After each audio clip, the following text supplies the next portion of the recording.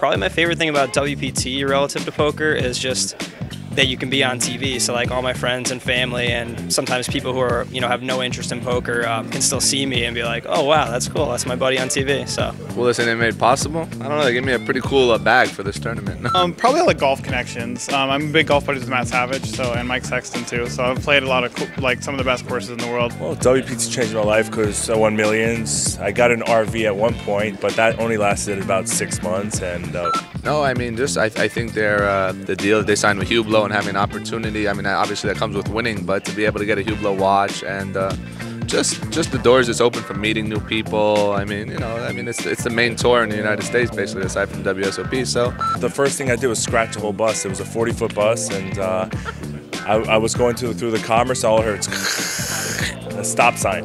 I didn't even think it was legal to allow somebody just to drive like a 40 foot bus for the first time. Kind of like being known in casinos, people coming up to me saying I inspired them or saying that I just a great story or whatever it is. It feels good. It's a great feeling, and it's not something I'd experienced before now. I think the traveling is pretty cool.